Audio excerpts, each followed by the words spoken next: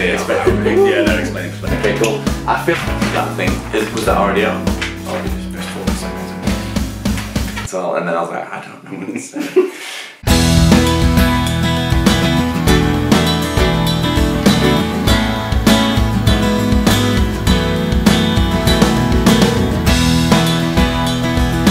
Hey, I'm here with Andrew Warman, illustrator to many things, including Ordinary Superpowers books.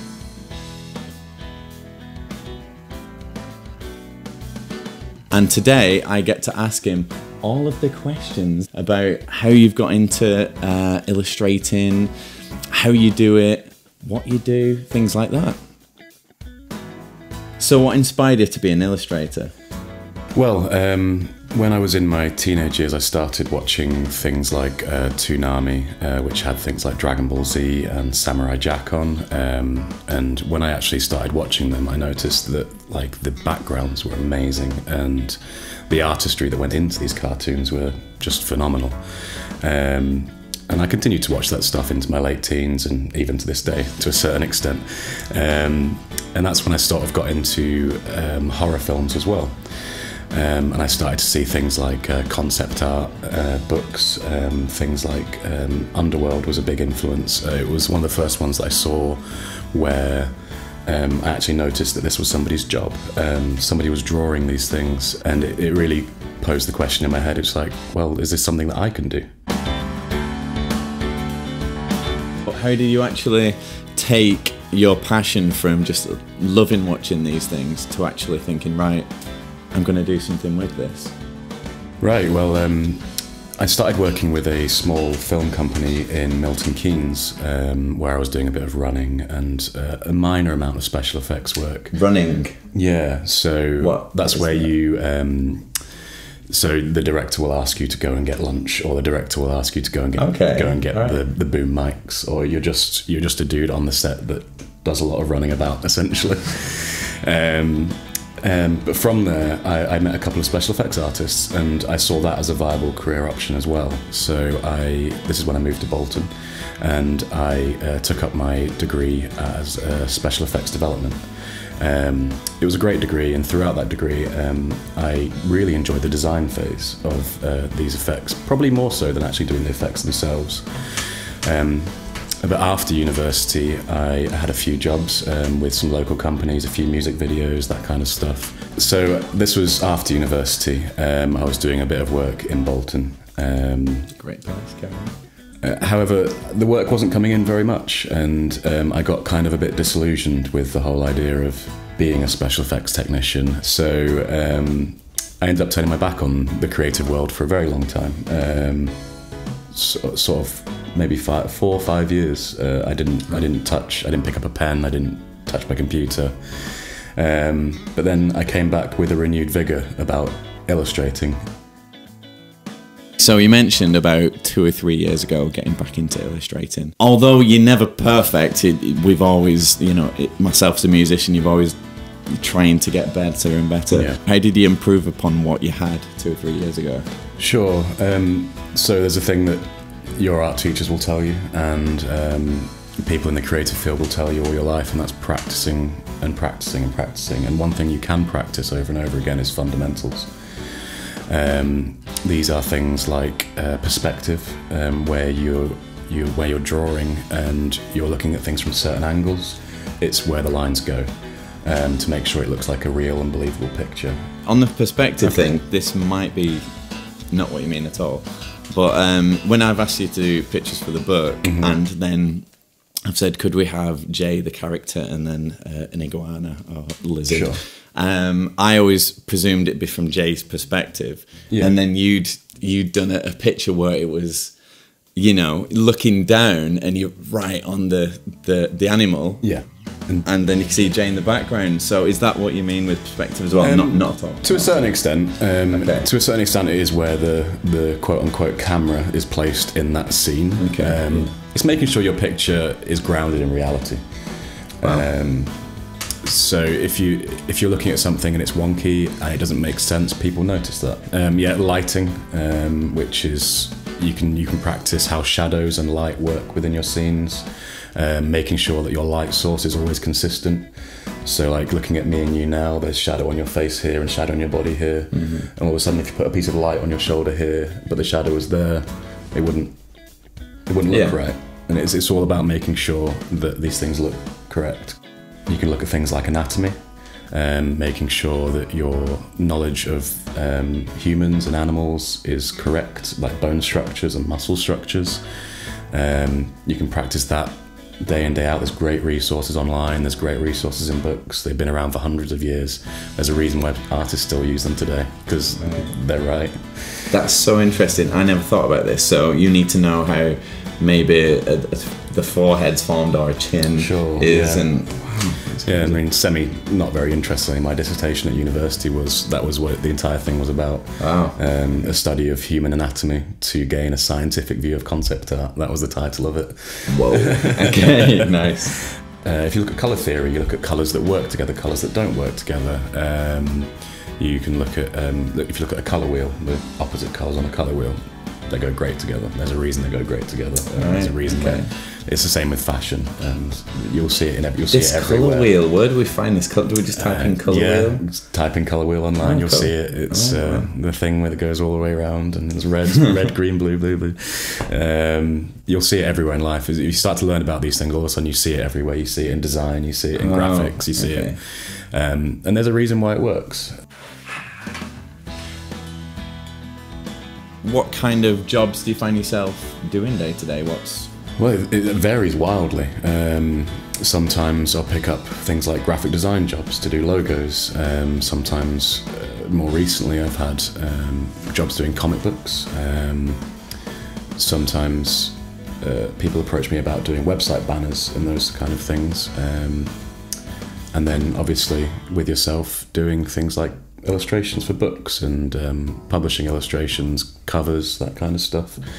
Uh, it does it does vary quite dramatically. The process is more or less the same for most of them. okay? No, go for it. What's your favorite type of job? Um, definitely working within the publishing world, um, illustrating for books and covers and that kind of stuff. It's um, it's one of the jobs that I find the most rewarding, and they tend to have the most creative freedom as well.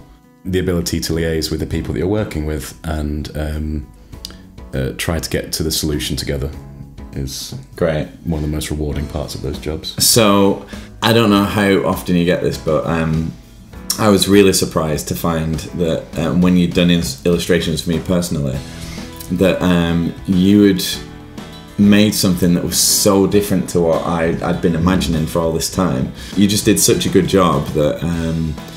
It kind of didn't matter that, that, that it was different to how Yeah. I see it. How often do you get that, or do you get no? Quite, quite often, and Oh, right, if, okay, if the uh, if the person you're working with hasn't given you this is exactly what I want, then you, you have to take a bit of freedom with um, with things. You can you can um, make small versions of it as much as you want um, to send to them and try to get to a solution together.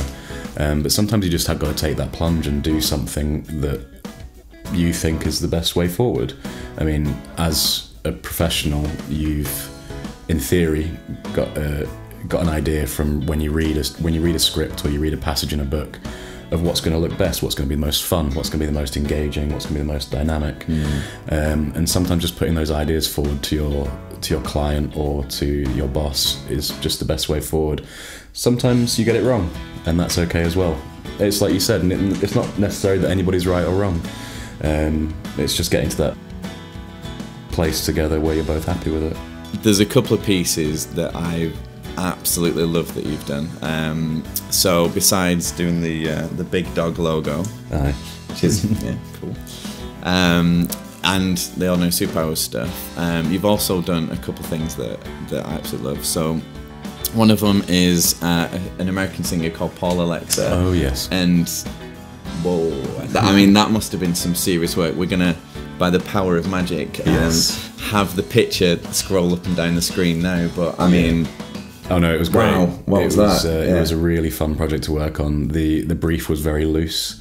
Um, the idea of being able to see in this person's head and it being almost like a little little eschery, um, a little, um, but just full of stuff. i hope you don't mind me asking Hmm. you don't have to answer this just wondering how long does it take to make an image like that? Because it seems super complex to me. I mean, I've always worked quite quickly as an artist. Um, That it, you really do. It's Yeah. ridiculous. so um, I wonder if I could do another picture. I remember sending you a, a terrible picture of a robot, and I was sat with you, and in ten seconds, Yeah. it looked like the robot. It was crazy. Yeah, yeah. And no, I've always I've always had quite good draftsman skills in those way where you um, where I can I can draft something quite quickly, but then sometimes towards the back end of an illustration it can take longer because of things like color and lighting and making sure that everything works together. Mm-hmm. But that image itself, I believe, it was about 14 hours in the end. Okay. Well done. It's very good. There's the book, The Curse of the Pendle Witch, Oh yes, yeah. black and white. That, um, funnily enough, um, I showed someone the, the picture who'd seen my book and said, "This can't be the same person because um, because when you're an artist, you have a style generally." Sure, And they're yeah. like, "This this is nothing like." Um, there's, there's there's a slightly interesting co- um, concept that I came across recently where illustrators tend to fall into two different categories, and um, it's either like you said, one of them has a very distinct style that they go with all the time, or you have the idea of an illustrator that's chameleon and can blend themselves into other people's styles and do different things on different bases depending on what the project demands. There's I'm not saying either either of these are better or worse than each other, Yeah. but I've always found myself more of a chameleon where if somebody approached me with something and say, I need this in this style done like this, I'm like, okay, I can do that. Or, or I'll get to a place where I can do that. Uh, with the Curse of the Pendle Witch, the person that I was working with on that um, wanted something quite uh, old looking, and I ended up going along the line of using um, almost like a wood carved illustration style. Um, lots of lines, lots of um, the black and white, like it like it was a, an ink pressed illustration. Um, however, obviously it was done digitally because I'm clever like that.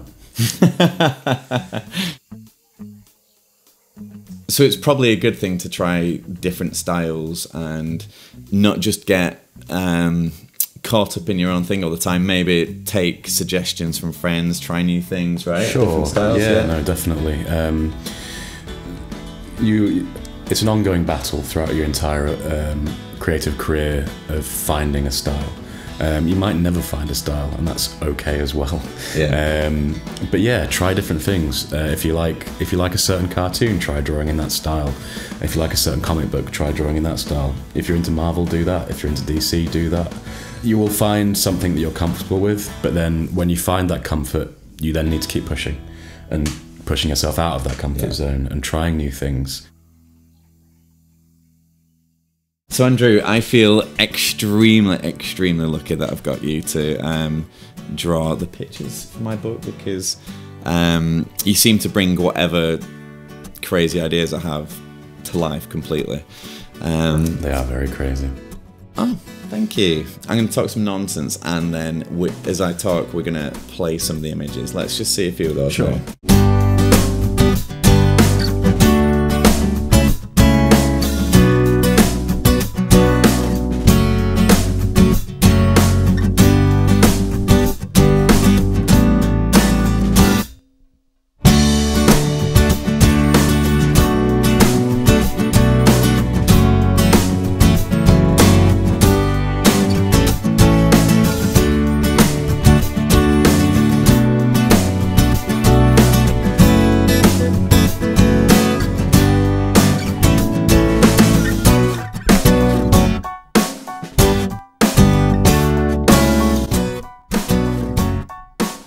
Out of all the images, which there are many of these Hmm. things, um, thank you for your hard work. That, do you have a, a favourite, or maybe a favourite two or three, and, and why? Definitely the robot daydream is one that um, springs to mind. Yes. Um, specifically as well, the when they're plunging into the water on that side of the illustration there. the lagoon. Yeah, I- the colour's gorgeous. Sometimes you just nail something, and on that one, I felt like I'd nailed the colours. It looks like you're underwater looking at that scene. The second image, um, I love Boomerang from the first book. Um, Great song as well, by the way. Um, the way that Jay has hit the floor and the dust cloud is billowing up around him and the boomerang is spinning around his head, the action in that scene just it, it worked, and I was very happy with how that one turned out. You nailed it with the word uh, action, it, or maybe you could use motion. It, it looks Yeah. like it's moving. Yeah. love it. Great. Thirdly, probably not one that you would expect me to pick, but from the first book, uh, Flying Over London. Um, All right. Yeah. uh, for the reasons I was talking for before about perspective, that illustration was incredibly difficult. It probably took me the longest out of all of the illustrations in the both of the books, No, really. um, just Wow. to make sure those buildings looked right and um, the lighting was correct on them, and Jay didn't look like he was a giant swimming in the water, which is what he looked like the first few times I drew it. It was tricky, but I'm incredibly proud of that and proud of how it turned out.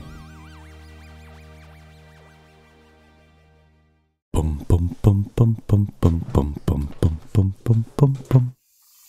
Here we are, inside the computer of Andrew Warman. Did I say it right? You did. Okay.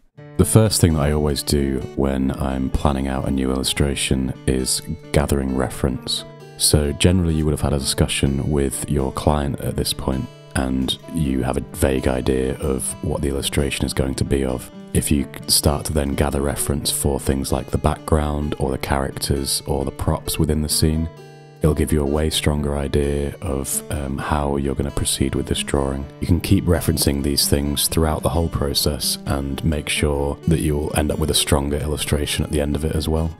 If you like a certain style or colour palette or like a shot from a film that you quite like, then you can also put these images within in with your reference as well. My next stage is sketching and thumbnailing. Um, this is where I do multiple versions of the same image with slightly different variations or different angles or um, potentially different moods or lightings in them. I don't tend to put too much colour in these. Um, they're a good way of uh, going doing back and forth between you and your client, making sure that you're doing the right thing and getting to a point where you're both happy before you proceed with the overall larger illustration, which will take up more time, obviously.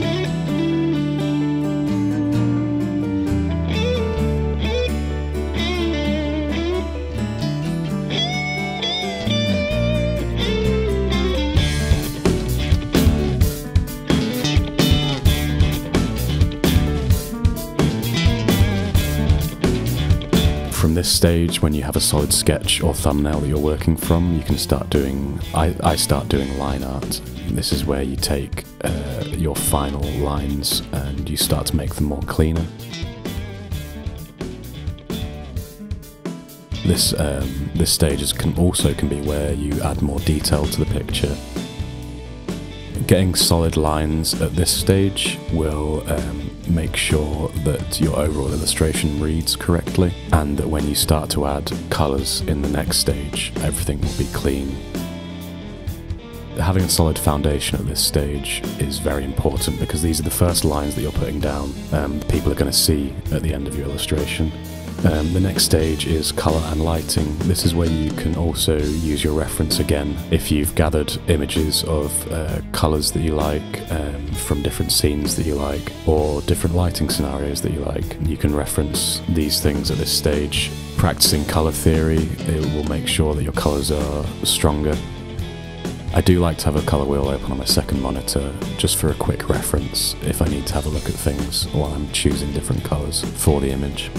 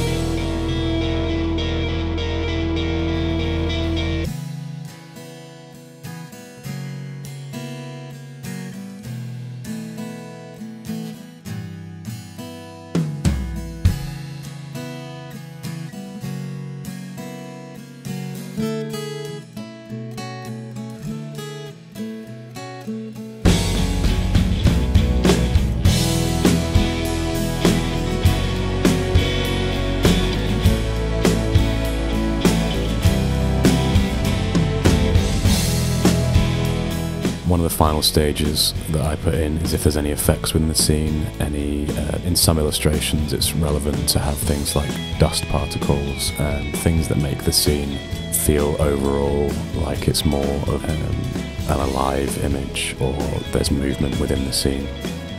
And so at that point, yeah, you, um, you have a completed illustration. With that, throughout each of these stages, you can speak to the person that you're working for or working with and make sure that you're on the right track. But at this point, this is when you get the final sign off to make sure everything's okay and you're done.